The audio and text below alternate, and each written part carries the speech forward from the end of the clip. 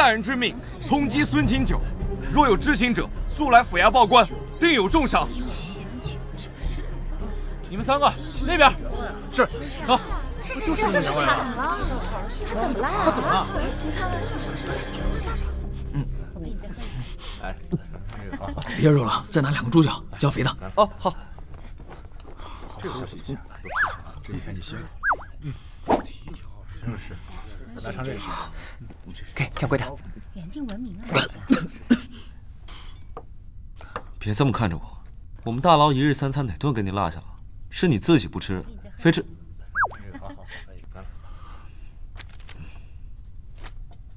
你怎么还剩这么多？这是洛儿亲手给我做的，我要好好保存。洛儿，辛苦你了，还我清白。我也不知道怎么报答你，只好以身相许了。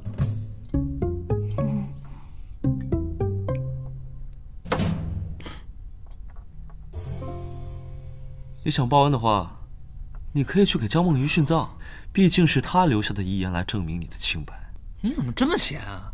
孙清九跟包胜的关系你查清了吗？就来我这儿喝茶。你们说孙琴九不会带着墨鱼玉佩跑了吧？至于吗？不就是块玉佩吗？孤陋寡闻，墨鱼玉佩乃是季太师之物。那怎么到了孙琴九的手里？有江湖传言说，太师府被抄没之前，季太师将一生的财富全都藏到了自己女儿的墓室中，引得天下盗墓贼络绎不绝。你的意思是说，盗墓贼盗取了玉佩，然后辗转到了孙琴九手里？那江家小姐的白鱼玉佩也跟孙晴九有关？我早已派人查清，白玉玉佩乃是江府老爷当年游历西域楼兰古国之时购得，他与包胜并无关系。那包胜与孙晴九的关系，只有等抓到孙晴九才能知晓了。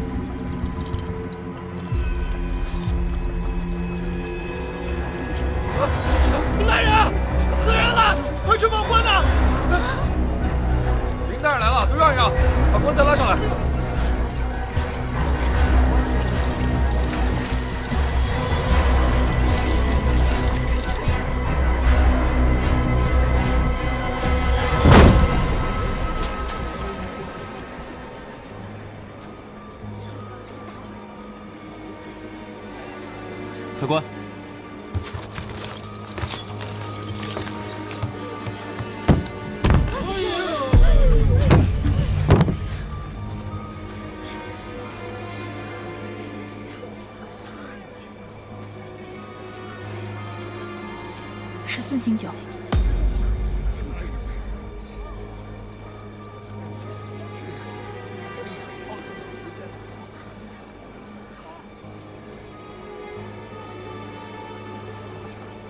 尸体被扎了多刀，但均不致命，想必凶手是故意留他性命，将其塞进棺材，活活淹死。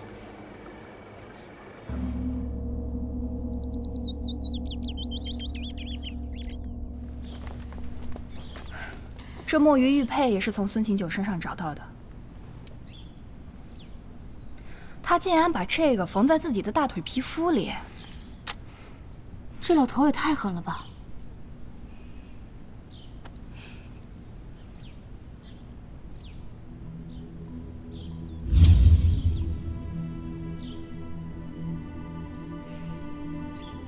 这焦梦鱼确实是他杀的无疑，可又是谁杀了他呢？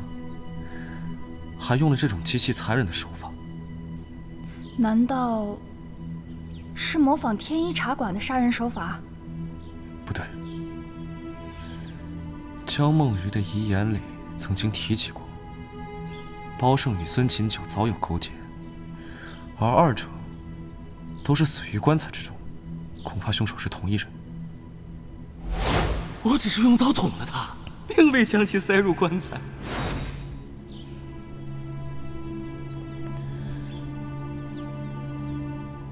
当初，姬信时并没有真的杀死包胜，而是有人在他之后，将其活活塞进棺材，流血至多而死。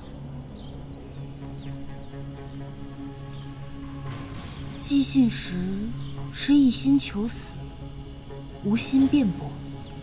间接替真凶掩盖了真相。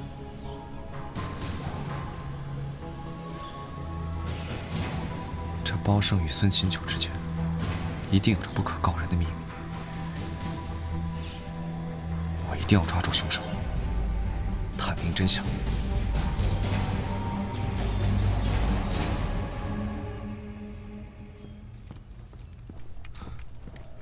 大人，我已调查孙包二人关系。身边人也问了个遍，发现二人并无交集。这样吧，去把二人的户籍档案找来，我要看看。是。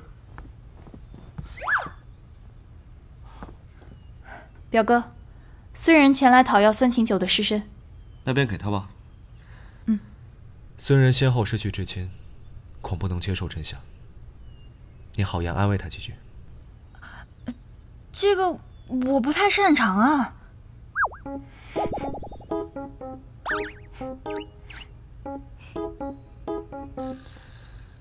孙仁容易钻牛角尖，你又不擅长交际，不如把雷捕头带上吧。雷捕头是谁啊？表哥，我先忙去了。不，哎，茵茵，你又怎么招惹他了？我没有啊，我就是亲了他一口。我先去追他。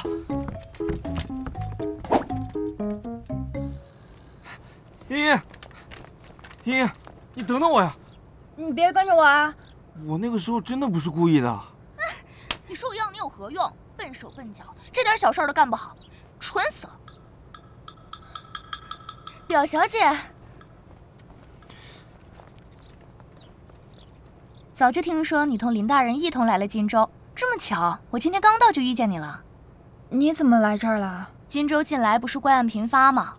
若曦姐姐担心林大人呐，他是吃不好睡不香的，所以让我给带了安神茶来，都是姐姐亲手做的。温温小姐有心了。什么话呀？等过些日子姐姐嫁进来了，咱们就是一家人了呀，是吧？陆南一，你怎么在这儿？我怎么不能在这儿啊？你这个狐狸精！一年前你差点毁了我姐姐姻缘，一年后你又来了，你还当真是阴魂不散，缠定林大人不成？姑娘，并非你想的那样，陆姑娘她一直都在荆州。我劝你把嘴巴放干净点我和林清秋的事，还轮不到你来说三道四。哼，你这个狐狸精，你也不认清认清你自己。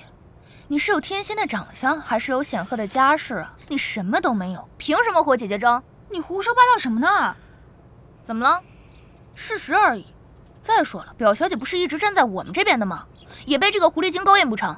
像她这种下九流的商人之女，就应该配一个下九流的人。你太过分了！论身份，你也不过是个文府的庶出，靠八戒长姐才有今天。你在外面这么狗仗人势，你爹知道吗？你我这个商贾之女还有生意要做，先失陪了。你哎，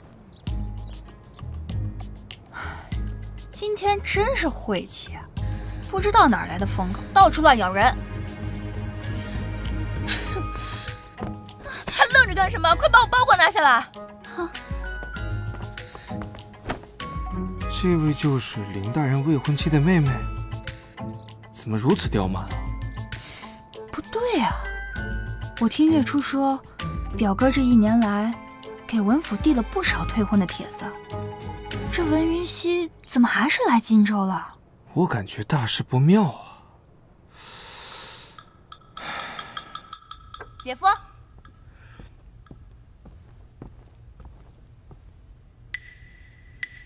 文二小姐，你怎么来了？我是姐姐的亲妹妹，本就该替姐姐来看望未来的姐夫呀。我知道，大人您瞧见我呀，定是惊喜的不得了。你近日一定是想我姐姐想得紧，姐姐也是如此呢。这不，还托我给您带了她亲手做的安神茶，枣泥糕。一个月来，我叫月初递给文小姐书封帖子，她看到了吗？帖子，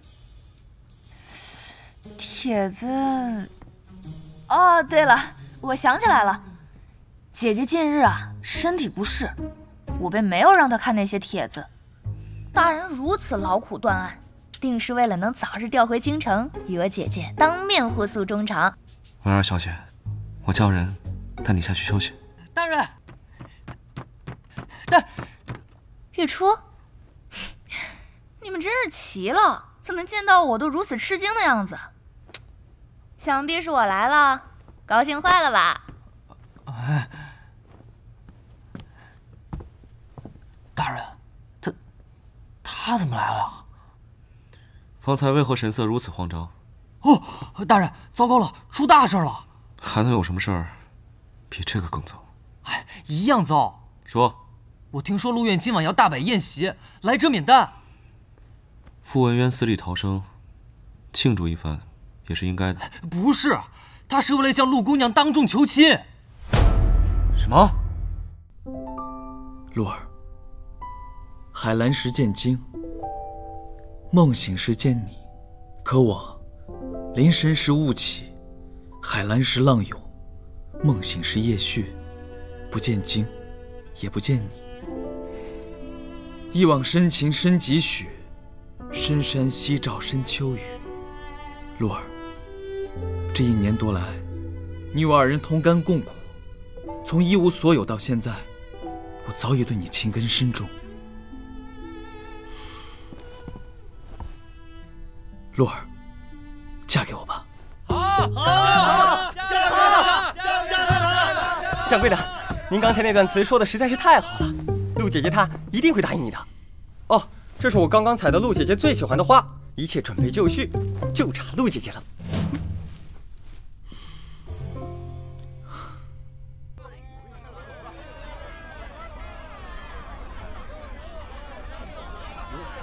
傅文渊这又是搞什么幺蛾子？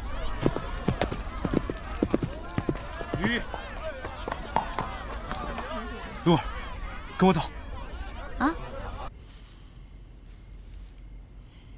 掌柜的，掌柜的，啊掌柜的，掌柜的，怎么了？哎呀，你还是自己去看看吧。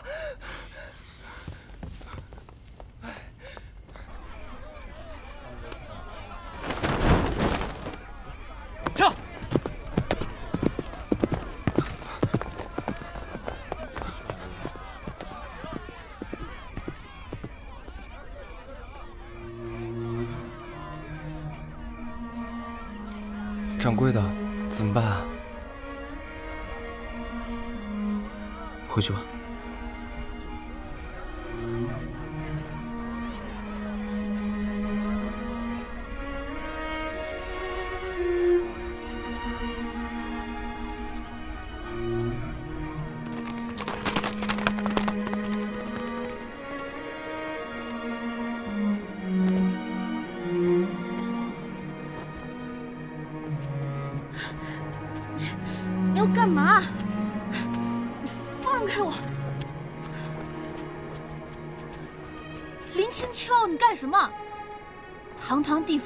竟然干起强抢民女的营生！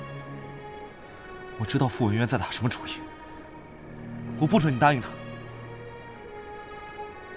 这些全是我为你准备的。你在说什么呀？我喜欢你，我真的喜欢你。我比他，比这世界上的任何人都喜欢你。我一直在找你，一直在找，我从未停下。你走了之后，我的心都空了。你在的时候，我从来没有羡慕过其他人。可是，当我知道这一年你跟傅文渊在一起的时候，我好妒忌，好害怕。我害怕你真的会答应他，我害怕你会离开我，害怕我会失去我心爱之人。罗儿，我不能没有你。可是现在说这些有什么用呢？你都有未婚妻了，不是的，那婚事是我母亲私自给我定下，我从未同意。我也多次写退婚书，我无法想象。红衣加身那天，盖头下的人不是你，露儿，原谅我吧。可我明明看见你们私会，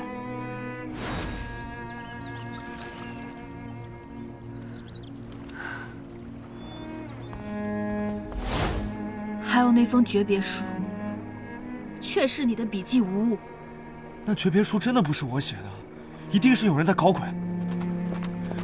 去，表哥，表哥，我查清当初的真相了。茵茵，可算找到你们了，是文云熙干的。什么意思？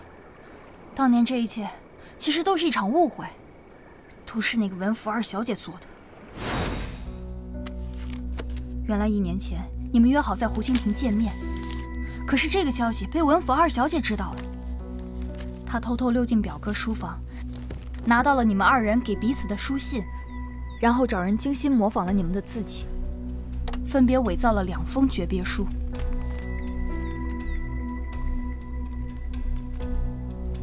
到了你们约定的时间，他先是派人传假信骗走表哥，然后雇人给你送去一纸诀别书，为的就是让你误以为表哥是无情无义之人。主动抛弃了你，小姐，明白了吗？啊，明白了。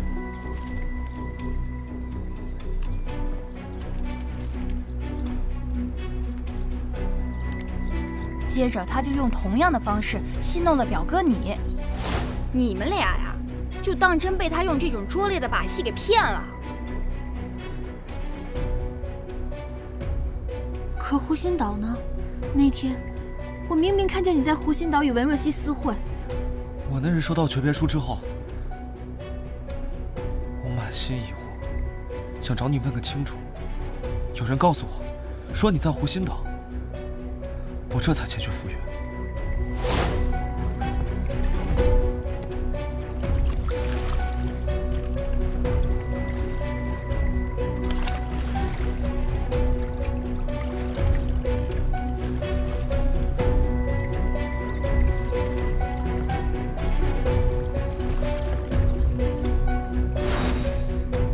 是那个文云熙搞的鬼，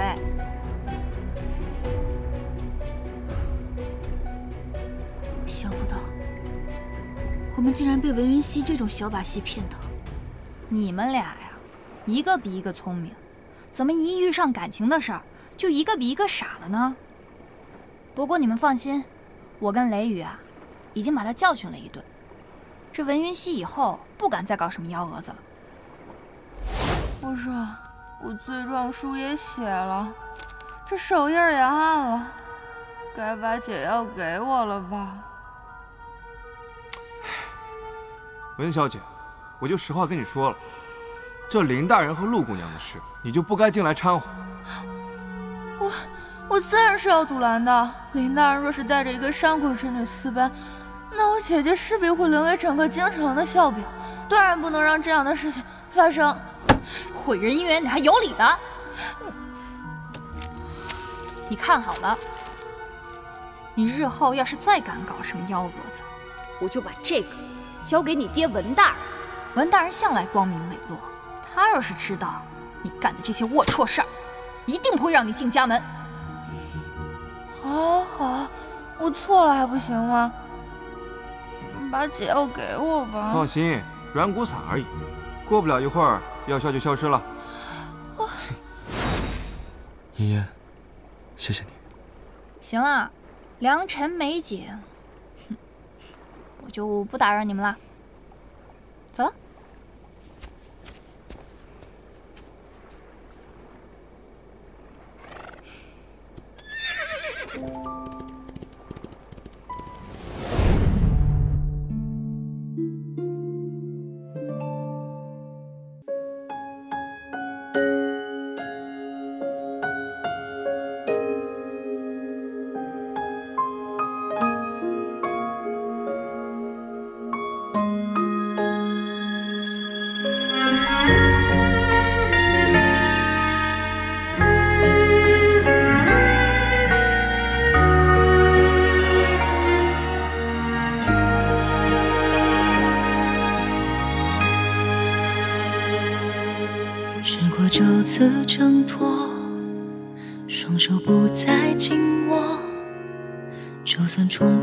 寂寞，不像是爱过。记忆不再更新，停止你的消息，选择忘记，全是故意。试过接受蹉跎。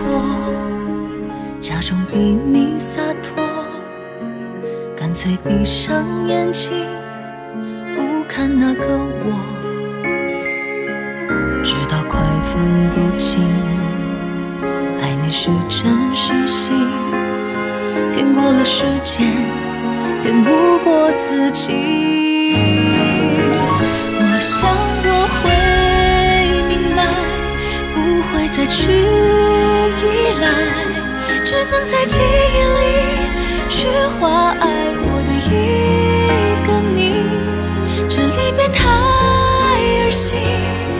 道别的每一句，对爱懦弱的那个人不